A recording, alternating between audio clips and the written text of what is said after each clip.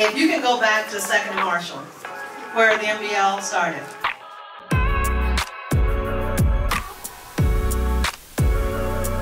No, actually, we're gonna give some money away first, right?